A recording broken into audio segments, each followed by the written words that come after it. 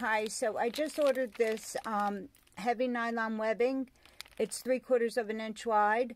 And honestly, it is really, really nice webbing, very thick. Unfortunately, I can't use it for the project that I am working on.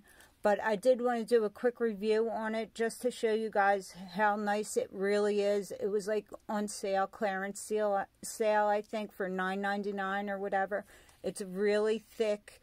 It would be great for buckles or um, if you want to use it to secure packages. This is fantastic. And I did sew with a piece of it and it's very easy to sew with. So if that's your intent, it's really a good deal. It's five yards. It only comes in black.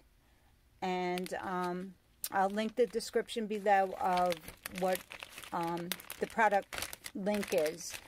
And um, so happy sewing or packaging or whatever you're going to do with it. But yeah, it's really good. And I just wanted to do a quick review on that. So, hope this is informative.